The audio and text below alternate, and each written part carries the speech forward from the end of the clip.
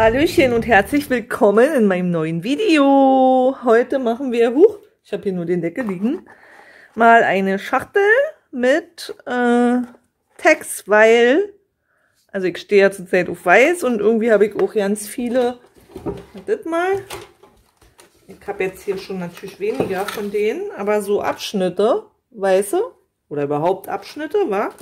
Und da bietet sich das natürlich immer an, ein paar Text zu basteln. Und das machen wir auch, aber vorrangig machen wir die Schachtel hier. Äh, diese Schachtel hier, die ich gemacht habe, die ist äh, auch mit dem gleichen Set gemacht, was ich jetzt auch verwenden möchte. Äh, allerdings, äh, also ich finde ja diese Set total schön. Das ist von Stampin' Up, das gibt's auch noch. Dazu gibt's passende Stanzen, aber wie gesagt, auch die, aha, ich an meinem Pulli hier. Auch die äh, Sprüche sind sehr schön. Also und wie gesagt, der könnt ihr äh, im Herbst verwenden eben und äh, genauso gut aber auch zu Weihnachten oder eben einfach nur für Text zum Beispiel, ne? Ohne Motiv.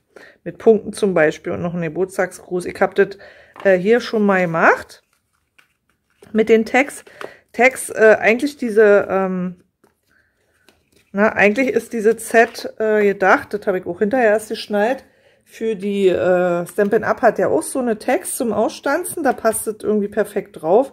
Aber ich mache das heute mit diesen Tags von Action, weil ich die, also ich habe ja viele Stanzen von Action und die meisten benutze ich nicht, aber ich muss mal sagen, diese Set finde ich persönlich total mega.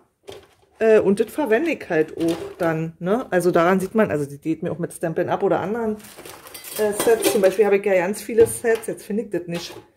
Äh, ich habe ja ganz viele Sets von, also ich habe ja relativ viel von Kreativdepot bestellt und ich verwende das aber nie. Warum, weiß ich nicht. Keine Ahnung, weil mir immer nichts einfällt. Jetzt finde ich,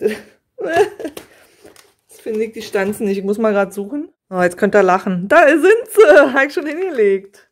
Also diese hier meine ich, die finde ich total schön. Ich habe auch alte Tags von Action, die finde ich persönlich nicht so schön. Ähm, ich finde die deshalb so schön, weil die halt gestitcht sind und ähm, diese hier mit diesem Fähnchenstanze, aber noch vorne rund und mit einem Löchlein, also perfekt, um Text zu machen.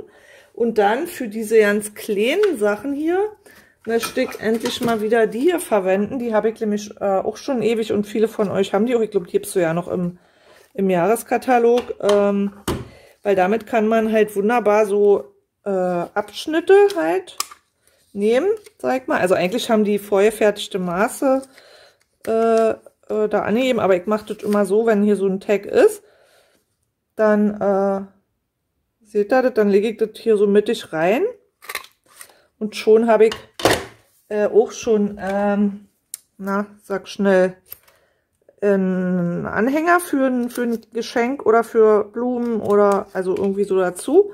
Und zack, habe ich ein Anhänger. Ja, Leute, ist wieder dunkel draußen. Ihr seht es.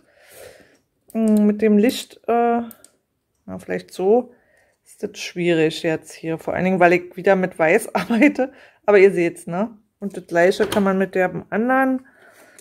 Also sind ja zwei verschiedene äh, Möglichkeiten. Also wie gesagt, äh, leider nutze ich die sehr selten, weil die steht, also alle, also fast alle meine Stanzen stehen hier hinter mir. Und wahrscheinlich aus den Augen, aus den Sinn, ne? Aber die ist eigentlich klasse für so, für so Reste. Also, und ich weiß nicht, irgendwie habe ich ganz viele von diesen Streifen. Ich weiß ja nicht, was ich da gebastelt habe. Wobei hier ist gerade ein bisschen so, ne? Also habe ich schon, und das geht auch in schmaler, äh, viel breiter jetzt, also jetzt auch, aber dann, also doch, geht auch in breiter. Wartet mal, mal zum Probieren. Aber dann muss man halt äh, schon so ein bisschen austarieren. Naja, gut. Viel breiter als das hier geht's halt nicht, ne? Weil dann Ach so, doch, eigentlich schon. Ja, habe ich, siehst du mal, habe ich noch ja nicht ausprobiert. Das gut, dass ich es mal jetzt verwende. Dann müsste man das hier wahrscheinlich so mittig ausrichten. Ja, schon, ver, schon, schon verschoben. Aber ist ja jetzt nur mal zum Probieren. Und zur Not, wenn es denn schief ist, kann man es ja auch ab. Ah, wieder verrutscht. Na gut, ich stanze jetzt mal. Aber ja, also jetzt müsste man natürlich zusehen, dass man das hier so ein bisschen, naja gut, wird nicht viel Ups, wird nicht viel breiter. Äh, ich schweife ja auch schon wieder ab, war. Kann man ja wohl so sagen. Aber gut, es geht um Text heute. Äh, jeder von euch hat bestimmt irgendwelche Tags. Ansonsten kann man auch ganz einfach äh, Tags schneiden. Einfach so, so und so. Also und schon habe ich einen Tag. Also ja, man müsste das jetzt noch ein bisschen ausrichten gerade. Aber so die Idee ist ja klar. So, jetzt mal den ganzen Müll hier aus dem Bild. So, dann zeige ich euch jetzt mal. Ähm, hier habe ich halt äh, diese kleine, mittlere Version genommen und habe halt äh, geguckt, was habe ich in meinem Bestand. Und ich habe äh, immer noch mein Favorit, die ähm, klitzekleinen Grüße. Und die sind halt echt einfach schön. Ja, da für dich ich jetzt hier nicht so ganz perfekt abgestempelt. Da ist schön Geburtstag bei. Also ich habe so jetzt hier so ein bisschen gemischt. Also die Texte sind zwar sehr na, herbstlich, aber ich habe das, was ich darauf gestempelt habe, ein bisschen gemischt. Hm, hier auch wieder, das ist von Danny Pois zum Beispiel, die Sprüche. Und hier habe ich die schönen Stanzen verwendet, äh, die hierbei sind. Diese Kürbisse, und äh, dann ist ja noch äh, weihnachtlich da und wir basteln jetzt zusammen halt die weihnachtliche Version dieser Schachtel. Sie wird auch ein bisschen, ihr seht, ich habe hier schon eine, eine, Menge Text drinne. Achso, hier die nochmal. Die habe ich auch äh, aus dem Set und auch aus dem, na, auch aus einem Stampin' Up Set. Also wie gesagt, wenn ihr keine deutschen Sprüche habt, dann ist Stampin' Up, finde ich, äh, eine gute Adresse oder eben, ja, ihr habt gesehen, Dani Preuß, das war auch sehr schön. Äh, oder FCO, da habe ich auch Sprüche schon schön gehabt. Aber wie gesagt, ähm, ich bin ja auch, äh, nur mal so für die, die neu sind, als unabhängige Stampin' Up Demonstratorin.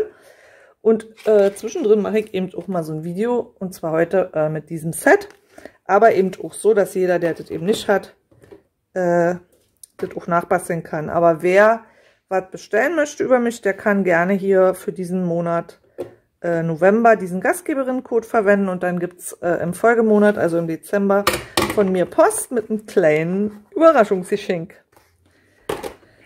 So, also jetzt legen wir mal los. Noch gesabbelt, schon, ich glaube, 10 Minuten gesabbelt. So, ich habe mal ein bisschen schneller gedreht. Ihr braucht zwei Blätter. Einmal ist es hier 16 mal 16 äh, breit. Äh, ich zeige hier nur, dass das gehämmert ist. Das ist von Neuser. Und ähm, ja, wie gesagt, 16 mal 16 und 16,3 mal 16,3. Deckel und Boden. Das größere ist der Deckel. Ja, ähm, ich habe mir das so ausgemessen, indem ich halt die beiden Texte, die ich machen will, ausgemessen habe und danach dann die Größe bestimmt. Wobei das jetzt hier in dem Fall ein bisschen knapp geworden ist, aber das könnt ihr von mir aus ändern. Das Prinzip der Schachtel ist immer gleich. Ja, jetzt Falzigkeit äh, rundherum bei 1,5 und bei 3. Hier erzähle ich nur, dass ich die Schachtel, die ich jetzt mache, etwas kleiner mache als die davor. Und jetzt geht's los. Bei 1,5 und bei 3.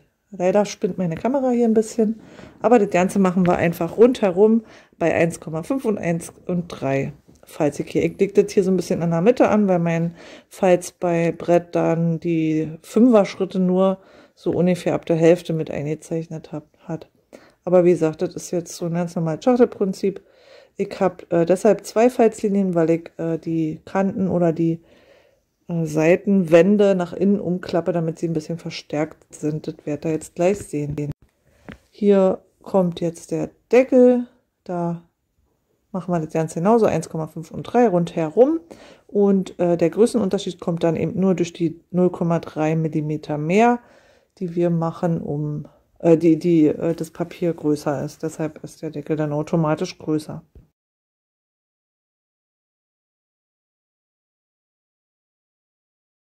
Dann falze ich jetzt mal ganz schnell alle Falzlinien durch in fünffacher Geschwindigkeit, damit ihr nicht so lange warten müsst. Und dann schneide ich das ein.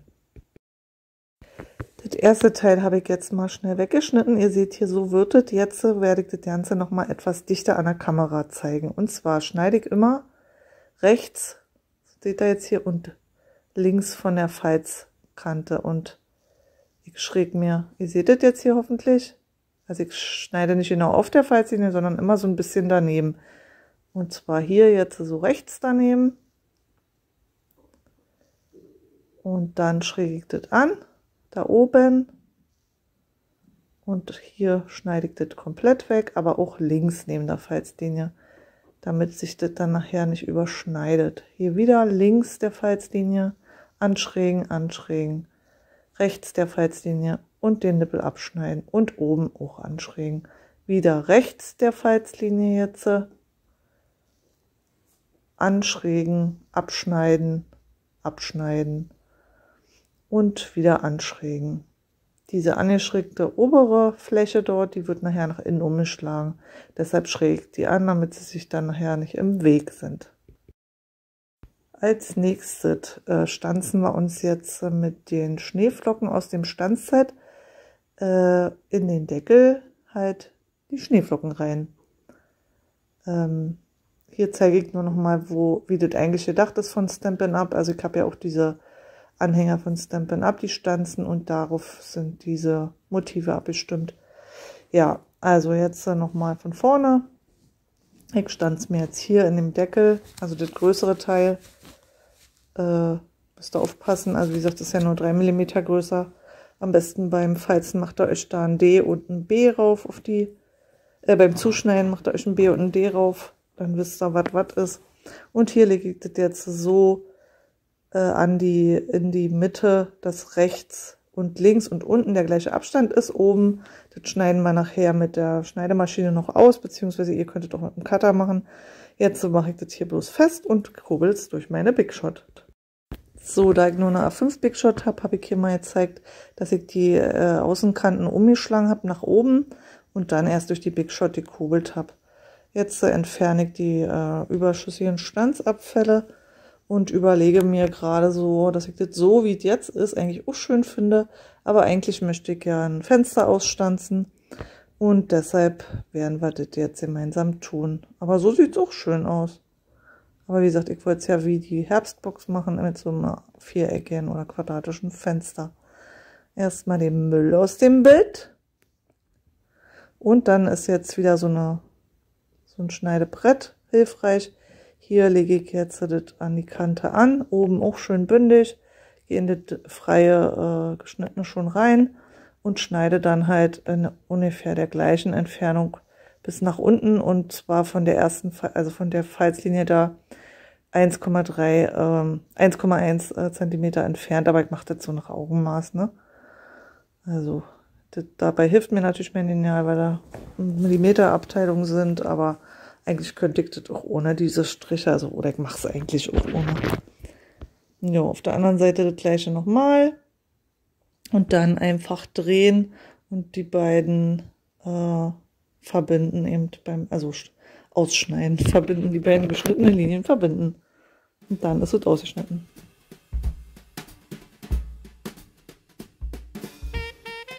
Da das ja jetzt noch da ein bisschen hängt, äh, schneide ich das jetzt mit dem Cuttermesser ab und die Überreste noch so ein bisschen mit der Schere. Da setzen wir nachher den Tag drüber.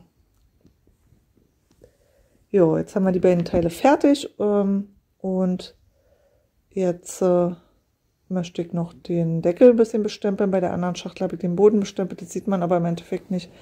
Also suche ich mir jetzt hier meine zwei Stempel raus aus dem Set, nehme ich die Punkte und diese, na, was ich da jetzt in der Hand habe, diese Sterne und Stempel mit Rauchblau ist das da immer wieder vorher auch ab, dass es so ein ganz zartes Blau wird. Also es soll so ein bisschen eismäßig sein. Ne? Der Winter ist ja kalt, da ist Blau eine kalte Farbe. Ganz schön dafür. Außerhalb der Kamera habe ich mir jetzt einen Rahmen zugeschnitten oder beziehungsweise stanzt und ein Vellum. Ihr seht es hier, das ist ganz normales, ganz normale Transparentpapier. Äh, und das habe ich in Pi mal Daumen jetzt hier in der Größe von diesem äh, Deckel äh, zugeschnitten, also in, die Innenabmaße des Deckels, so dass das Fenster eben einfach verdeckt ist und den Rahmen habe ich mit meinen quadratischen Stanzen, also den Innenteil halt mit den quadratischen Stanzen ausgeschnitten und das außenrum im Prinzip genauso mit anzeichnen. Ja, hier seht ihr die Stanzen Äh, ja, das habe ich eben, wie gesagt, außerhalb der Kamera schon vorbereitet, weil etwas länger dauert. So, außerdem habe ich noch einen goldenen Rahmen ausgeschnitten. Da wusste ich noch nicht so genau, ob ich es nehme, aber ich kann es euch schon verraten. Ich habe es genommen. Jetzt klebe ich einfach ähm, die Transparentfolie innen an und klebe meinen blauen Rahmen drüber, damit man die Klebefläche nicht so sieht. Und mein Mann lacht sich hier neben mir tot. Ich hoffe, ihr hört es nicht. Hat jetzt einen Tritt gekriegt, damit er leise ist. Und ja, das sieht erstmal hier gut aus. Ich passe halt den Rahmen so ein bisschen an, damit ich ihn von der anderen Seite nicht sehe. Jetzt kleben wir die Schachtel zusammen. Ihr seht hier, wie ich das mache. Einfach zuerst die kleinen abstehenden Klebelaschen mit Kleber versehen und schön Kante auf Kante kleben und dann nachher ähm, die oberen Kanten umknicken. Und hier seht ihr auch, warum ich eigentlich den Actionkleber nicht mehr mag, weil der doch nicht so schnell anzieht. Mein Buchleim, der würde schneller anziehen, den habe ich mir jetzt aber wieder nachbestellt, weil ich den also für Schachteln und so irgendwie besser finde. Außerdem stinkt der auch nicht so.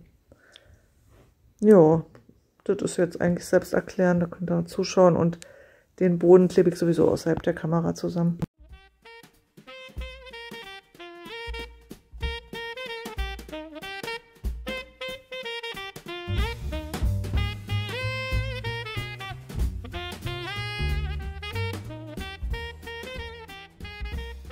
So, Boden zusammengeklebt. Jetzt kommt noch das Innenteil. Die Maße dafür schreibe ich in die Infobox, sind glaube ich 9,8 äh, mal, ja, weiß ich nicht, 9,8 wahrscheinlich. Und die Falz wird bei 6, 7 und 8 Inch, äh, Zentimeter. Und das Ganze klebe ich jetzt ähm, da in der Mitte zusammen. Das wird halt der Steg, wie, womit die beiden Tags dann ähm, getrennt werden. Und dann klebe ich einfach unten an. Dann habe ich mir noch ein bisschen Designpapier zugeschnitten. Äh, was ich dann, also einfach Pi mal Daumen mit anzeichnen, kennt ihr ja schon von mir. Und das klebe ich dann noch rein. Dann machen wir jetzt erstmal für den besseren, besseres Öffnen der Schachtel an der Seite rechts und links ähm, noch ein paar, die, also ein paar Eingriffmulden rein mit der Kreisstanze. Äh, das ist vielleicht besser, wenn man das dann macht, bevor man die Schachtel zusammenklebt. Bei der anderen Schachtel ging das einfacher, weil, der, weil die Kanten ja höher waren. Jo, jetzt äh, klebe ich jetzt eigentlich nur noch alles aufeinander, also den Rahmen von außen und von innen das Designpapier. Da lasse ich euch mal ein bisschen Musik laufen bei.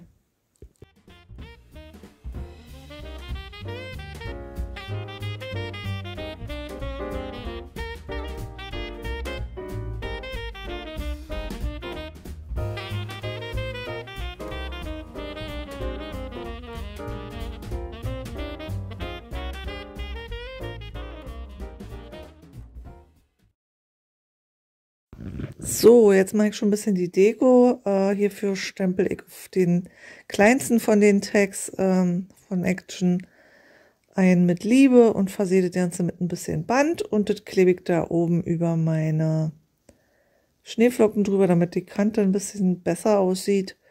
Dann äh, bringe ich noch ein paar Glitzis auf und das ist dann die Deko. Danach machen wir dann äh, noch ein paar Tags, also die bestempel ich einfach, beziehungsweise stanze auch äh, teilweise äh, die Tags aus mit diesen Stanzmotiven, also so diese Rentiere und äh, jetzt hier in dem Fall habe ich äh, diese Kugeln äh, ausgestanzt und einmal versägt den Hintergrund der Kugel mit äh, Designpapier und das andere Mal mit, äh, mit Tinte einfach, also ein bisschen äh, mache ich ein bisschen Hintergrund, äh, Farbe im Hintergrund in Rot und klebe jeweils immer zwei Tags dann aufeinander mit den schönen Seiten nach außen.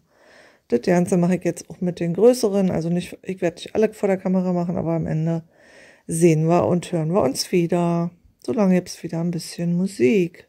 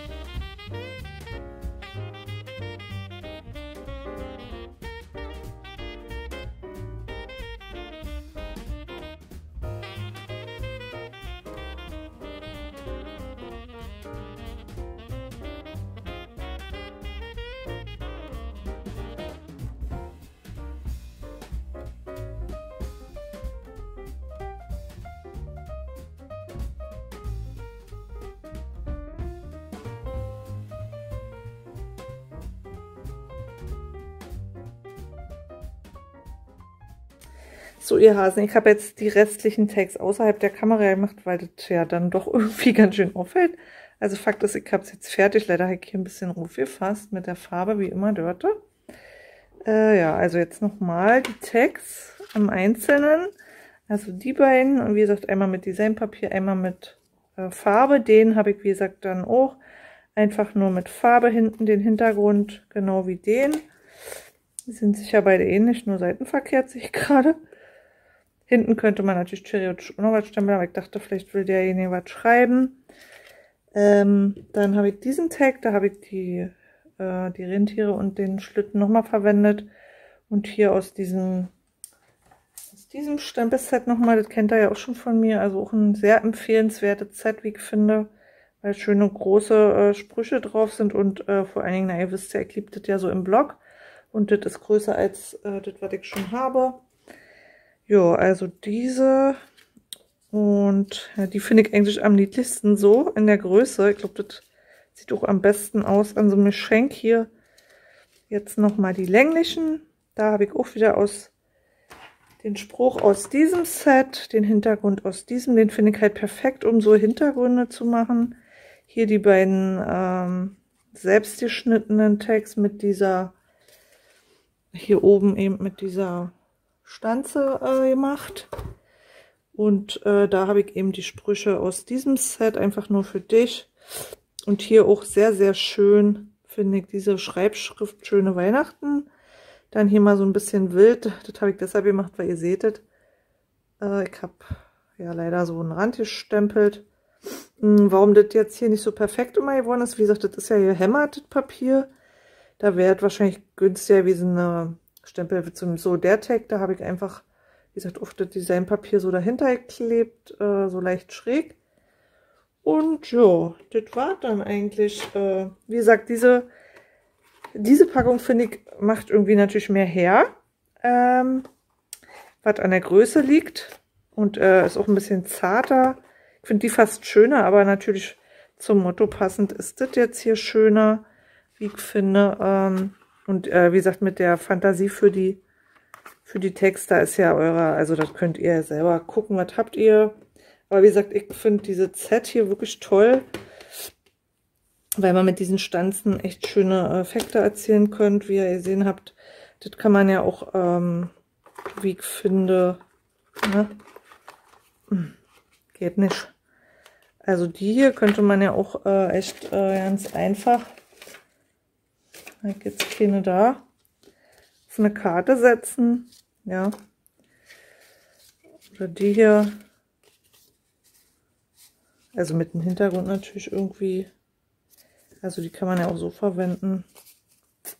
Also wie gesagt, ich finde die Text total schön äh, von Action, aber mit den von Stampin' Up würde natürlich genauso gut gehen. Okay. Ach, siehst du, hier ist noch die, die kleine Schleife, die habe ich vergessen. Ihr seht hier am Rand, äh, das gleiche kann man natürlich auch mit dieser Stanze hier von Action machen, aber das hat mir irgendwie nicht gefallen. Also wie gesagt, ich komme mit, mit diesen Motiven nicht klar. Ich habe ja Gott sei Dank schon äh, die anderen verkauft. Äh, das ist jetzt hier mit der gemacht. Aber wie gesagt, ihr seht, ich, ich finde das nicht schön. Ich finde, das sieht immer die sehen einfach so, das geht mir mit den meisten Stanzen jetzt von Action, die sind einfach so kindergartenmäßig. Das gefällt mir einfach nicht. Das ist, nee.